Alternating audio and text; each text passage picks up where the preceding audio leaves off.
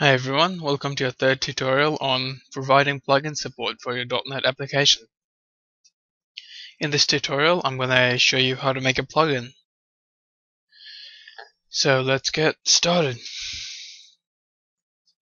First, we're going to create a new project. It's going to be a class library again, and we'll name it um, plugin date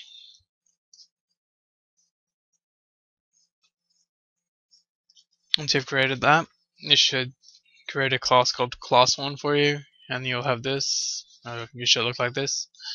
Um, we're gonna right click on references, go add reference, then go browse, and then look for where you have saved your plugin interface. So plugin interface,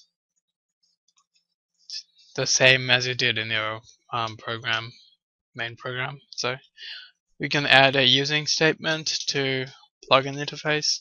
Oops.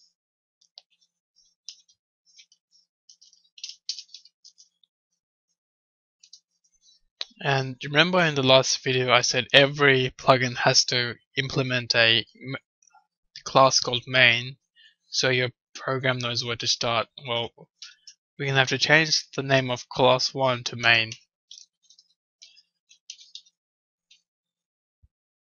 And now we're going to um, implement the interface called iPlugin. So type in iPlugin with a colon before it. Then right click on iPlugin, go implement interface, then go implement interface again. And it should create the three methods that we've implemented in our interface for you. First of all, this plugin is going to return the date. So we're going to go return datetime dot now dot to long date string. Um, this plugin's name is going to be date. And now I've actually made a little mistake here. I've created a method called set var which will set something in our plugin but I have not put in a method to retrieve that variable at all. So to do that what I'm going to do is create a new string called string varab verb And I'm going to return this string with the get information method. So I'm just going to go space. Oops. Then we're to also add va oops, verb. Hmm. And in set verb, we're just to set verb to whatever our user puts in. And that's actually it. That's how simple building a plugin is.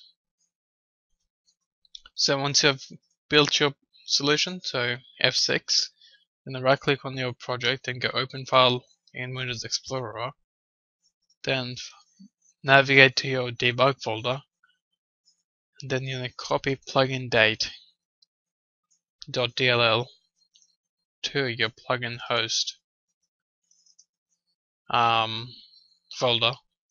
So uh, wherever you have saved your plugin host, we're going to paste that in there. And now if you run your um, plugin host.exe or whatever you, your name um, plugin program is, you'll see a plugin in there called date. And you can set the variable but obviously because there's one thing there I can't retrieve get information again. So I've actually created a bunch of other plugins. One that's going to retrieve the time one that's going to generate a random number and one that shows you what operating system I'm on so we're going to copy and paste those in the plugin folder as well. and then we're going to run the plugin host.exe again. And now, as you can see, we have multiple plugins. We'll set the variable to 5 or 5. Um, as you can see, that retrieves what operating system I'm on. This is a, just a random number. Let's set the variable for that as well. And the time now is 11, 10. So we go back to our date, and as you can see, we've got the variable there. In a random number, you've got the variable there. And in our time, we've got the variable there. So this is a really good way of extending your program or if it's a large program because C Sharp has to compile everything to update itself you can put in plugins which will make updating a lot easier. So thanks for watching I'll see you guys later.